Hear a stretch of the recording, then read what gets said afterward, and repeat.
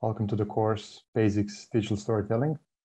Okay, so um, you can access Grasshopper just by typing in Grasshopper. And um, in Rhino 6 and previous versions, this was a separate plugin, so you have to just install it separately. But since Rhino 7, um, so the version that should be on all the computers in uh, at Aalto, as far as I, uh, as far as I know, uh, this so Grasshopper is integrated in the um, in Rhino 7, so you don't need to really install anything. Now Rhino comes, uh, Grasshopper comes like with million plugins, uh, and that's kind of one big advantage. And I'll show you actually where to get them. Uh, it's called Food4Rhino. Food for Rhino, or actually I don't know how to write it. Food for Rhino.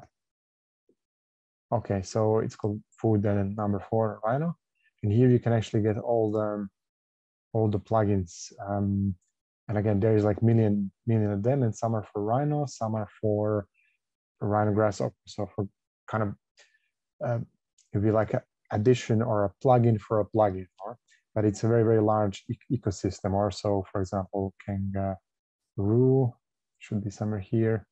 They always have names according to some animals. So Kangaroo Physics is a that is um, uh, for example, a plugin to do physical simulations in Grasshopper. So you can do like physics simulations in Grasshopper, and um, yeah, kind of if you go a little bit more into structural engineering, this is uh, uh, something that you might be interested in. And then again, there's like tons and tons of things that you can use for modeling.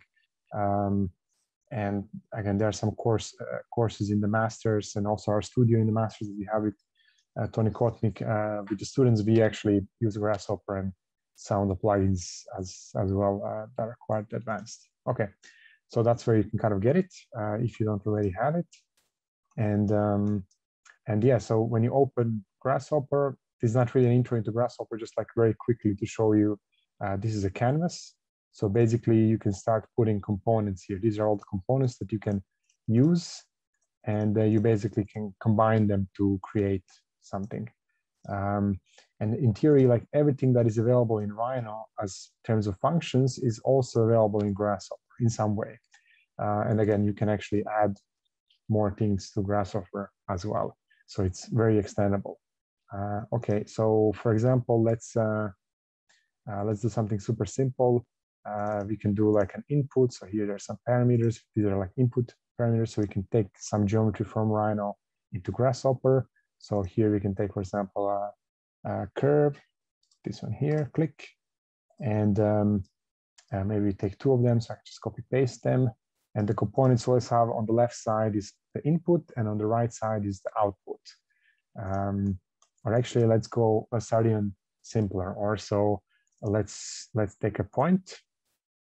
Uh, so I can also just double click here um, on the canvas and write in point.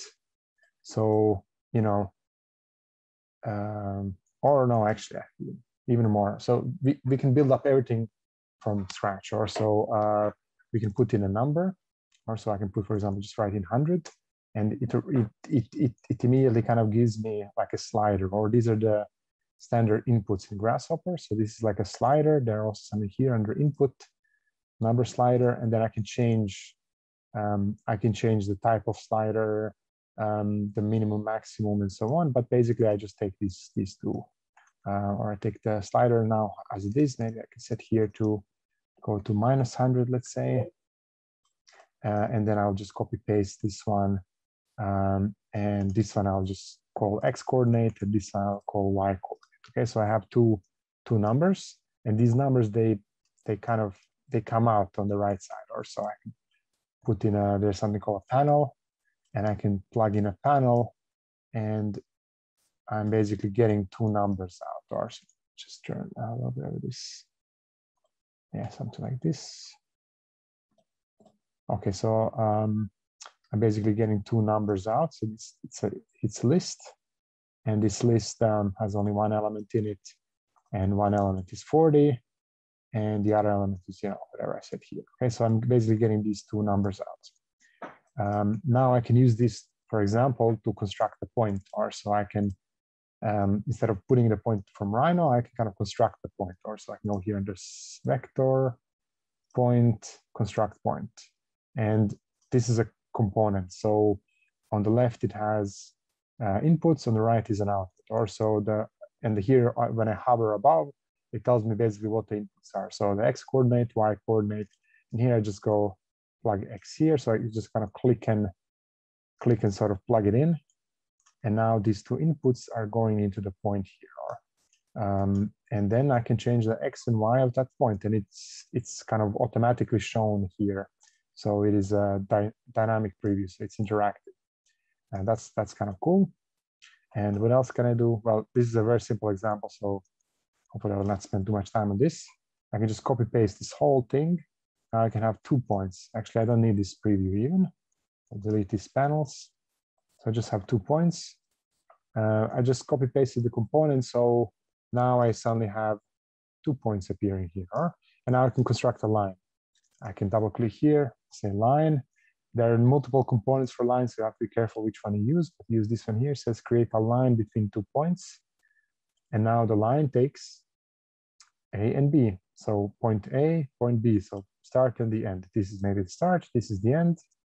And ta-da, I, I have the line. Or so when I talk about parametric modeling, uh, this is what I mean, or so, or this is what we mean when we say parametric modeling, that now we kind of drew a line, but we didn't sort of manually draw it in Rhino. We, we defined in a way a small code, a small procedure, in a way relations, where we go from numbers, four numbers in this case, to um, you know points, and then these two points combine into a line. Or so now I kind of I can get any line I want by just kind of changing the numbers here. Or So this is this is this is a parametric model. Some questions here. If you drag the point in the top, view do the values change in Grasshopper? Um, yeah, so uh, that's a good question. Actually, these points, if you if you would play play with it, uh, these points are not directly selectable in Grasshopper. So these are they are not directly selectable in Rhino. So look, when I zoom in, I cannot select them. They just don't exist. Um, so because there's somehow this, this is just a preview that Grasshopper gives you, but you can kind of bake this. You can kind of put it into, into Rhino. So there, there's a bit of a, let's say a gap, gap between these two. So if I go on a line here, right click, just say bake, okay. Now this line is here. Or so now it's a separate line. I can do the same thing with these points here. I can just select them, right click bake, okay, select last. Uh, somehow it's just baked one point, but I can bake the other one as well. Okay, so basically you can create the parametric geometry in Grasshopper and then you can sort of, um, you can just kind of move it into, into Rhino as well. Let me just save this. Uh, again, if you do any, if you do any sort of um, tutorial in Grasshopper, this is like, you know, the first thing that this you go in first 10 minutes or something. So, um, but I'll just save this here and I will call it uh, 21 1008 grass hopper basics. Okay. Okay, and um, go a little bit further. Let's say I can, I draw a curve here in um, let's say I draw a curve here in, um, in Rhino. So I'm just using this curve command. So you can kind of go the other way around, or so you can kind of take things from Rhino and put them into Grasshopper. Let's say I have these curves here. Now I want to put them in. So I would use the input component here, parameters, input, and then I choose, uh, actually here, geometry, curve, okay? And I can change, change the name, I can say curve one, whatever, copy paste, there's a curve two, but this is just for me, so I know which one is it, which one is which. Then I can go right click, I can say set one curve, go here, I can select that curve. The other one, right click, set one curve, hop, okay. So now I selected two curves and they're kind of still in Rhino, so I can kind of move them around. They, this, but basically Grasshopper is sort of referencing these curves here. I can do something with them. I can, for example, divide a curve. So the same command that I just used today, divide a line or curve, I can just use it here. So I can double click, I can just write divide, and then I can look for it. Here it is, divide curve. It's also under here the curve and then division, many ways to divide a curve. Okay, and because I have two curves, maybe I can do it twice, copy paste. So first curve goes in here, second curve goes in here. Now I get these division points, but I can change this, or I can, again, put a number slider, just double click and just write 100. You will get the number slider goes from zero to 100. And then you can feed it into n, and n is the number of divisions, or number of segments. And you can feed the same slider into the bottom one as well, if you want to have the same number of divisions. Okay, so now we have one slider that controls two things. Uh, and yeah, I changed the, you know, now, be, you know, before I had to kind of manually say how many points I want, and then I would click, I would get these points, and then I would, I would have to go back if I wanted to change the number of points. But here, I can just change the, num the number here, and I'm getting kind of dynamically um, dynamically sort of a different different number of points. And let's say I want to create line. So this I made the last example, this sort of basics. Uh, let's say I want to create line between these points. Or so I can use this line component, same one. So I just write here line, this one here. And the thing is that the points that I, I take a panel here, the points that I get here are actually lists, or so it's it's a it's not one point that I get from this component. This is the exit or the what this is the kind of function, and this is these are the outputs. Or so I get different things. One of them is are these division points. And if I plug it into a panel, I can see how this looks like, or at least how the coordinates look like. So um, basically, I get two lists of points. This is how they look like. Uh, so I, again, I don't get one point, I get a list of points and I can just match them. I can basically feed it into a line component. Uh, the grasshopper will interpret this, okay, I apply this function, but I kind of match the first point in this list with the first point in this one. And then I do another line with, you know, this second point in the first list and the second point in the second list. And it will just do this matching. Or so that's kind of what's kind of happening if I just plug in points here into A, points here into B. Okay, so it's it's kind of a grasshopper sort of can work with individual elements, but it can also work with a list of elements if it's if it's clear, if it's clearly defined what what needs to happen with this list. So now we have a bit something that is a bit more powerful because now I have a, you know, I can kind of um, uh, I can just again dynamically change the number of points, which dynamically changes the number of these lines, and then I can even go back to Rhino and I can change just the input curve or I can just start modifying it. I'm getting kind of this um, dynamic preview or because as soon as I change the input, this whole thing gets recalculated, you know, in real time. So, so yeah, that's it. That's kind of a little bit uh, the charm. And now I want to just show you. So this is just basic, basic, basic. Again, you can continue as much as you want. Uh, I'll just show you a few things. So if you're if you're neurotic, you can start ordering these things a bit. So you can, for example, select and there's this. Uh, you can kind of order them a little bit so they are kind of align them and so on. Uh, again, or you have OCD or something, you can do that. That's what I do all the time. Um, so you can make your components. These are actually called components. These are actually, I mean, they're kind of functions. Okay, this is kind of a grasshopper canvas. Okay, so that's one example. I would like to show you, uh, I would like to show you, let's close this one and let's delete these lines. So example scripts that I will give you, they will be in the folder uh, is this flow along vector field. Now that's a little bit more advanced, but you know, no reason to be afraid. Okay, so um, and I'll explain a little bit what happens here. So this is actually a custom scripted component. So you can actually create your own components in Grasshopper. And that's actually what I do uh, a lot in, in my work as an architect and designer. Uh, also in the office, uh, we just do a lot of this, or I do a, a lot of that.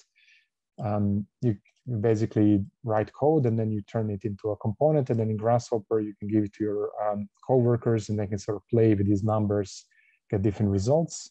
And uh, yeah, you can kind of, if you're in, you know, you're basically a designer, but you're designing a way through code. Also, many examples that I showed you at the first, um, the first, um, uh, first day we're kind of showing you basically what can be done with code. Now this code is actually here. If you double click here, uh, this is the code. Our code is actually here. It's written in Python. That's why I said, if you know a little bit of coding, it can get you really far. Um, the, the, other components in Grasshopper are written in a different programming language, and you cannot edit them directly.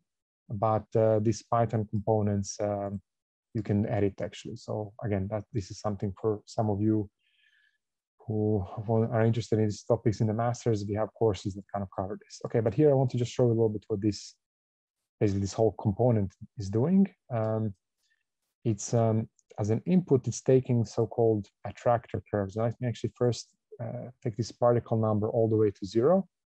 Okay, so we start with these attractor curves. They're just some lines. Uh, and here they're also internalized, so they're kind of um, they're already saved in the component, but we can put uh, input new ones if you want from, from line. But these are just few lines. And we create in a way an underlying vector field. And this vector field is defined or there's a vector value defined for every point, which is sort of like an average between these vectors.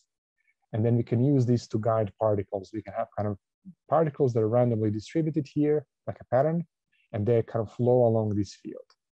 Okay, so uh, let me just, you can see here, so if I start changing, I start adding these uh, particle number, um, it, they just kind of appear, or so there's like more and more of them appearing. Let's go all the way to up to 1000. And what are these particles doing? Also, there is something uh, parameter here called vector scale. So vector scale is actually prolonging their step, or so this is a short step, this is a long step, okay? So I can kind of control how, uh, what is the length of the step that these particles are doing on this vector field. Then uh, there's a step number, so I can kind of control how many steps are there. And you can see here, because I have a certain, it's called jitter. Jitter is basically introducing a little bit of randomness. So if I put it to zero, I get kind of a sort of very smooth field. You can see these lines, they're very smooth. They don't overlap. Um, but if I increase, increase the jitter, they kind of start deviating a little bit from the path, or so I get a little bit more natural. I mean, it's not natural. It, this looks a little bit like hair, almost like gross. But uh, the the plan with this code was to look to make it look a little bit like grass, or so. Um, yeah, the kind of grass like. But for that, we need to maybe adjust a few parameters. So we have this jitter.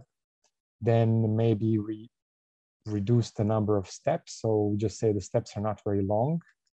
Okay, uh, so you reduce the this vector. Well, actually, we reduce the number of steps all the way down, maybe to three, but we increase this vector scale, or so we increase the um, the length of the step, or so less steps, but uh, but but uh, bigger length. Or and by just changing these numbers, you can actually a little bit influence how these um, strands sort of look like. Or you can see a little bit here what happens now if I'm change this jitter. Now they're kind of not bending so much, they're kind of bending generally in one direction. So they look less like kind of gross curly hairs, but uh, more like kind of blades of grass, let's say. Step goes even to two and vector scale goes even further. Also, by just kind of changing these parameters, you can really sort of change a little bit how how this whole thing sort of looks like for vector scale. Yeah, and uh, yeah, something like this. Uh, maybe even less steps. Two, this one a bit longer, a bit more. Okay, so the idea here was that it looks a little bit like kind of grass, let's say. Even though again, it might look a little bit like like here. And I just want to show you now how to change uh, the seed here is um, just changing the random seed. So there's certain randomness, uh, how these, um, you know, how the jitter behaves. So every blade of grass is moved randomly left and right. Uh, and and there's a random seed in the system that controls how this is done. So we can change that random seed. Um, so here manually so that we can kind of get sort of different versions of the same code or so this is just all sort of randomizing everything then the renormalization is, yeah, what the renormalization is doing is just a toggle, you have to kind of double click. What that does, it says, well, the the grass or these strands that are closer to these input vectors, which here you can see very lightly as kind of green, uh, they are sort of longer. And the further they are from these vectors, they are they are um, they are shorter. So that's kind of what this effect is sort of doing. So maybe we can even ah, do it like this. Okay, so you can change that, and then um, uh, yeah, and that's it. And then let me just show you what happens if I change the input vectors. Also here we have one, two, three, four. We can just change, uh, just draw a line in Rhino. Line, and let's just put it straight up. And we can select it here and say right click, set one curve. Okay, so now you can see that all of my blades of grass are sort of pointing up. And again, I can kind of change a little bit how, how this happens. If I rotate the curve, they all sort of rotate with it, or they all rotated with it. So I can kind of change the general direction of these um, of these blades of grass, let's say. And then what else? Uh, yeah, I can have multiple of these, or so I can kind of copy uh, copy paste. Okay, I copy paste these blades of grass, or copy paste these sort of input vectors. Now there are two of them. Is there two? Yes, there's two. And I can say, again, here, right click, set multiple curves. Oh, set multiple curves, yeah. And uh, nothing really happened because they point in the same direction. But you can see what happens if I start changing it. Or so now suddenly there are two of them and they kind of, they compete for influence. Or so some of them, you know, the ones that are on the this side, they go in the right direction and those that are on the right, they go toward the left.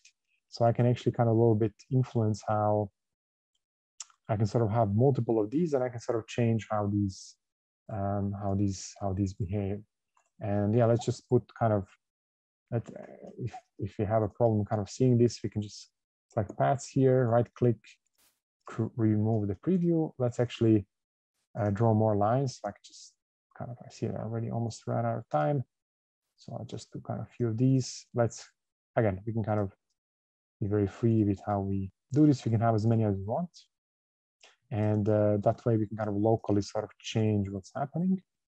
And again, we are interpreting these lines, in this case, as um, we're interpreting these lines as vectors. Or so if I select these lines in Rhino, and if I say dir, is uh, direction, you can see, uh, I mean, all geometry in Rhino has a direction. Also, a line has a start and an end point. A surface has also kind of two directions or parameterization runs in two directions on a surface. And there's also kind of a, you know, origin point of the surface. Um, even when the curve is closed, there's always a start point somewhere. It's called the seam point because that's kind of where the sort of curve, where the start and end point of the closed curve come together. Um, and that means all these lines, they have directionality and we can sort of use this information. It's like when you draw by hand, or you you can draw a line from left to right or from right to left. It looks like the same line, but somehow you drew it differently. And again, if you use a different drawing technique, maybe you have a brush or or something else, you might actually see the direction of how the line was drawn on the paper. So that's also some information that is could be encoded in this paper or in this drawing, but that might not necessarily you know be planned or or you don't even think about it. But in a computer uh, lines have directions so we can use these as can pretend they're like some some influences some forces that run in some direction okay? So that those are here.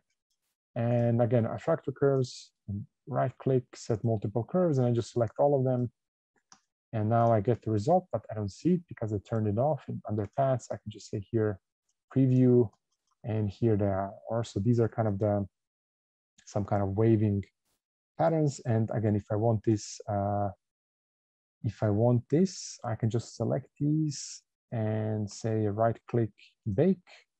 Maybe I can just say group here, okay. And I can say here select last. Aha, I somehow I have this problem. I can only, I guess, bake one component by one. So I have to see paths, right click, bake group yes. Okay, now I have these these ones here as well. Or so I can just kind of copy, well, I don't have to copy them, I can just move them. Oh, okay, just move them a little bit here. Okay, and uh, yeah, this is now my, these are now my kind of drawings here. I think, I'm not sure if the these vectors are here as well. No, they're not. I would have to separately sort of take them or bake them. Uh, but these are just curves, or these are actually groups. I can say ungroup. Um, and they are now just individual lines, so I can kind of further edit them.